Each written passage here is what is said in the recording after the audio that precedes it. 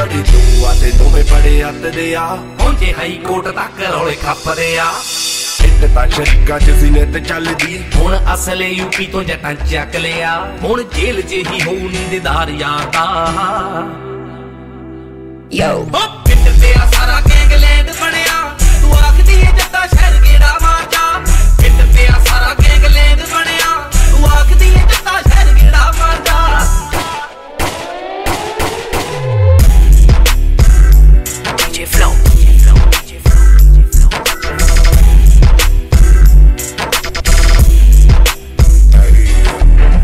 ਸਾਰੀ ਰਾਤ ਲੰਘ ਜਾਂਦੀ ਦੰਦੇ ਪਹਿਰਾ ਚਾਹ ਵਾਲੇ ਟਾਈਮ ਚੱਲਦੀ ਆ ਲਾਣੀ। ਓਏ ਸ਼ੇਰ ਬੱਬਰਾਂ ਦੇ ਵਾਂਗ ਜੱਟਾਂ ਦੀ ਆਣ। ਲੰਘ ਜਾਂਦੇ ਇੱਕ ਦੂਜੇ ਕੋਲੋਂ ਹਿੱਕਾਂ ਤਾਣਨੀ। ਓ ਸ਼ੇਰ ਬੱਬਰਾਂ ਦੇ ਵਾਂਗ ਜੱਟਾਂ ਦੀਆਂ ਅਣ ਲੰਘ ਜਾਂਦੇ ਇੱਕ ਦੂਜੇ ਕੋਲੋਂ ਹਿੱਕਾਂ ਤਾਣੀ ਓ ਮਰੇ ਸੱਪ ਵਾਂਗ ਜਿਹੜੇ ਆਕੜੇ ਨੇ ਫਿਰ। ਓ ਮਰੇ ਸੱਪ ਵਾਂਗੂ ਜਿਹੜੇ ਆਕੜੇ ਨੇ ਉਹਦੇ ਹੀ ਸਭ ਨੂੰ ਚਖਾਉਣਾ ਨਹੀਂ ਸਵਾਦ ਹਾਰਦਾ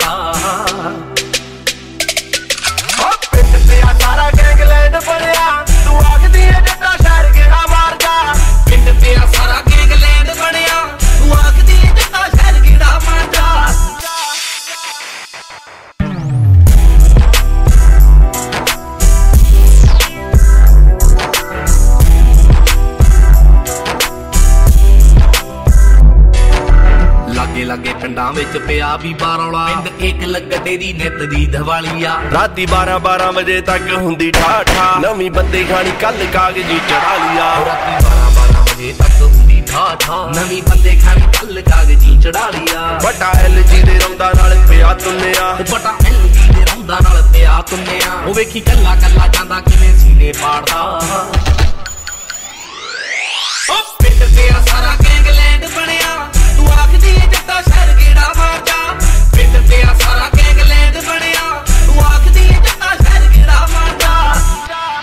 Flow.